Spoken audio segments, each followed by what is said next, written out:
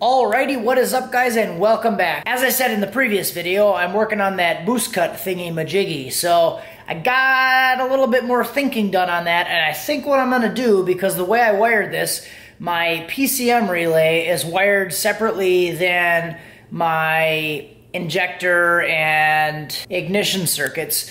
So I think I might just wire that to cut the PCM off.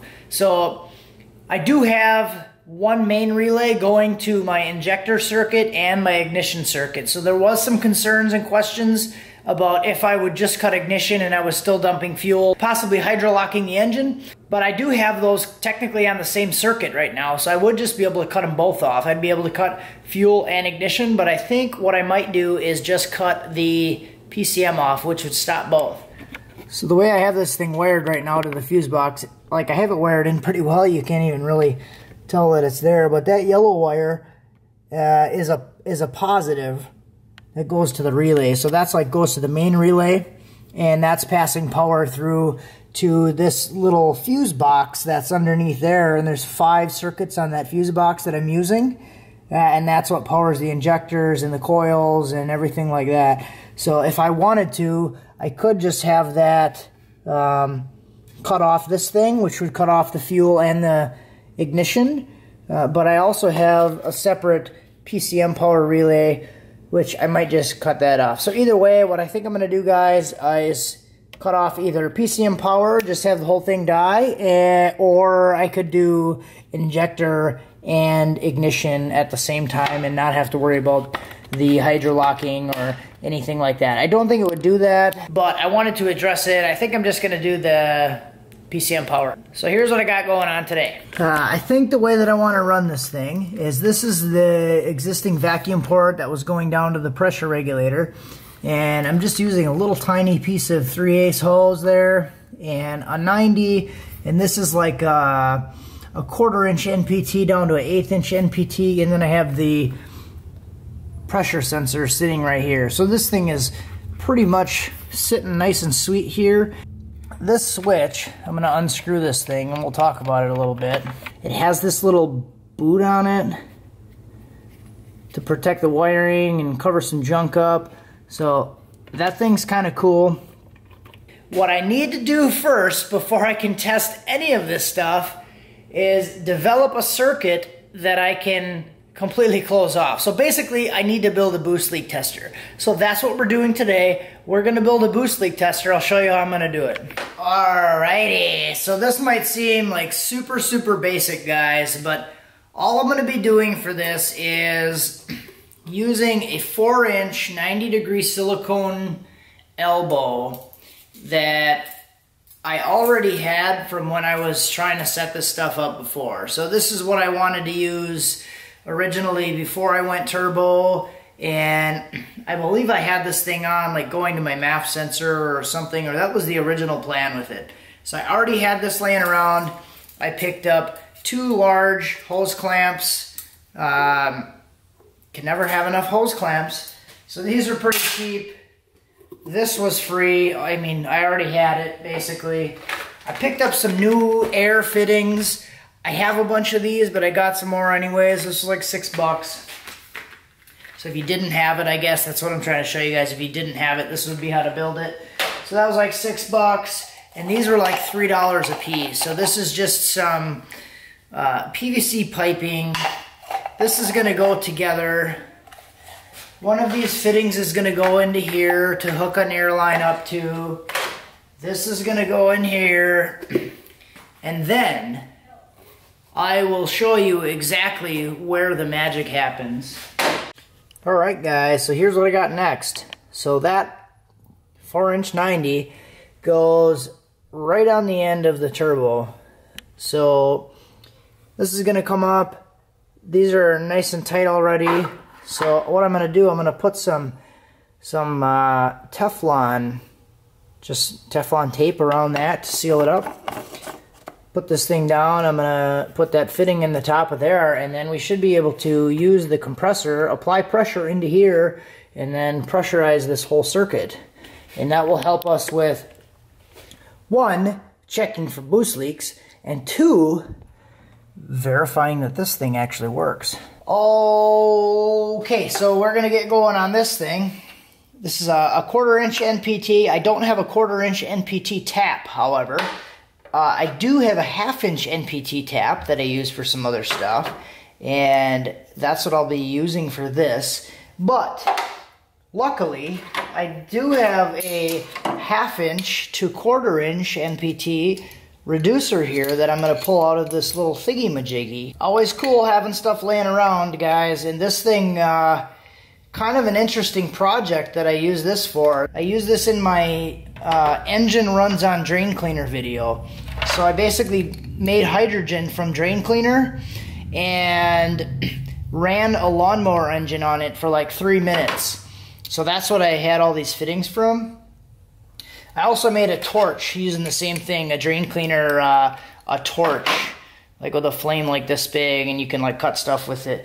But yeah, pretty cool. I ran an engine on drain cleaner with this thing, and now I'm going to use it for uh, a boost leak tester. Uh, I'll I'll put the video in the, up over here in the suggested. So this thing should work. Put this in there. I'll tap it out.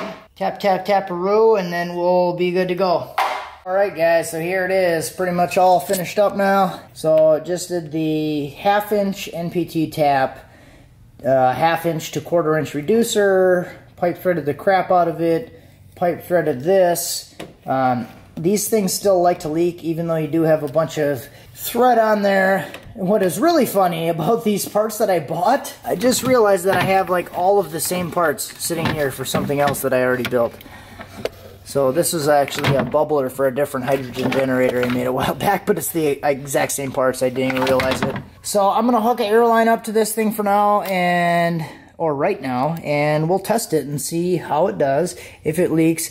If it does leak, I'm not really that concerned about it, as long as I can identify that it's leaking from this section or the top. If it's leaking from here, I'm not worried about it.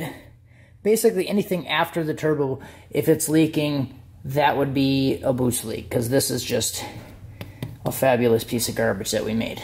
Alrighty guys, well, I got some more wonderful news. So this uh, fitting that I had here, that I had the little doohickey hanging on, as you can see it's gone now. So I tried pulling that thing off and it snapped it off. So we're gonna we're gonna go for broke here and it's pretty much nothing we can do at this point, but what we're gonna try to do is instead of doing the 90 degree thing that I had up there, I'm just gonna try to thread this thing right into the intake just like this. So I, I, I kind of in a way actually wanted to do this before because there's all these little plugs here. I really wanted to do this, but I didn't really feel like doing it. So I'm just gonna do it. now, now that's what I'm gonna do. All right, guys, check it out. What we end up with is a, a nice little switch underneath here that's pretty much completely buried by the wiring that I had. I'll go from this side. So I did slap some RTV around there. That thing is like in there nice, completely buried, nice and tight. And I'm just gonna use these little fittings here because I don't have 25 hands or a cameraman. So that's gonna be hooked to the multimeter with the continuity buzzer on. You hear when I turn this on, it buzzes. So what I'm going to do is hook up the line for the boost leak tester.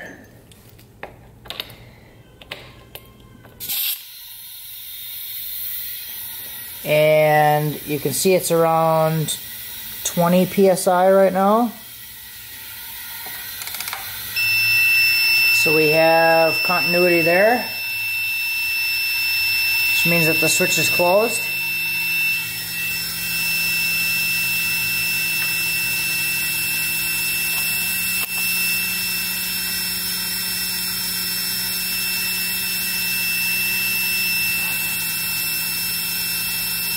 So I'm gonna try to set this around like maybe 18 PSI.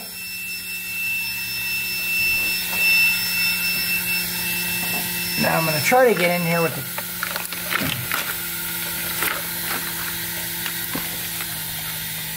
This is like almost impossible to do with one hand before I run out of air pressure. So I'm going to turn this thing down a little bit.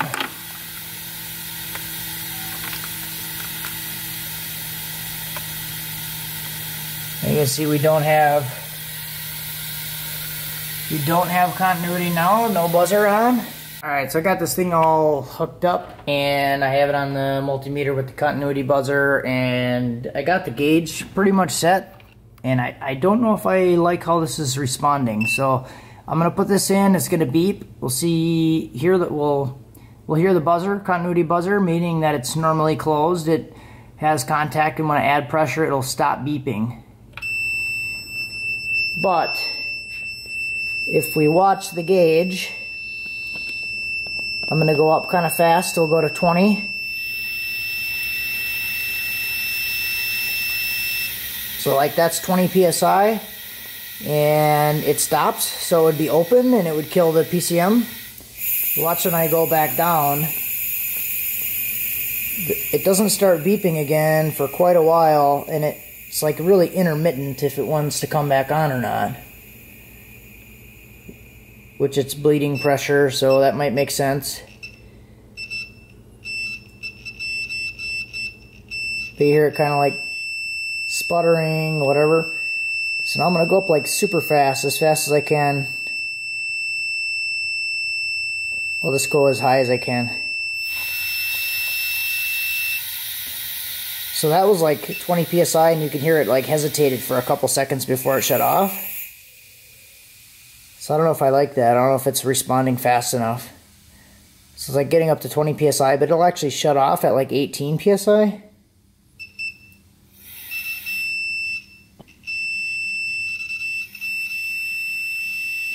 So I'll go up slow.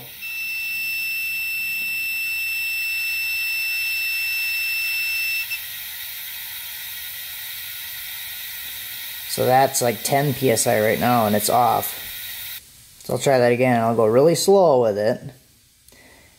So I think it, it works. It's just not responding very fast. So if it were like a wide open throttle full boost situation and that line broke, it would like skyrocket before I think this is going to react to it. Alright, so there we have, it's closed now. Vehicle would be running. Go slow.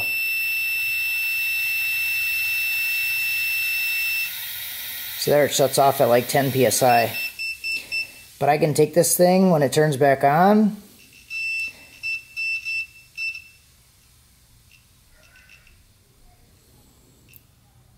and it responds very, very slow. It makes contact again. So I'm going to jam this thing up to 20. Really quick. And it shuts off, and that was only like probably 17 psi. So I just don't know if this is to respond and work fast enough. The good news is, uh, got the boost leak tester all done, and that was in, and I didn't really have any leaks anywhere. And the only place that I could really feel any air was coming out of where my boost controller was on the relief side that should be leaking. That was pretty much the only place that was leaking, so the boost leak check went well. Nothing is actually leaking. That was a win, I think. So the not so much of a win was this little switch. Cool idea. It might work with a different switch. Um, but I'm not going to use that switch. I, I'm not going to bank on that to protect the engine for anything. So it seems like it's working. It's working properly. It was kind of hard to adjust and very finicky, but it seemed like it's reacting very, very slow. So as you saw in the video, I would crank it up and then it would finally shut off and then I'd turn it all the way back down. It would bleed off the pressure and then it would sit there and kind of be like intermittent on and off, like it was making its mind up if it was gonna close that circuit or not. So I don't think the diaphragm in that thing is working fast like I wanted it to work. Um, but it was only like a $5 switch, so I'm not really too worried about it. So we'll keep thinking, we'll figure something else out. The concept is alive, we just gotta figure out something that's gonna work. That's it for now. Thanks for watching. Have a good one.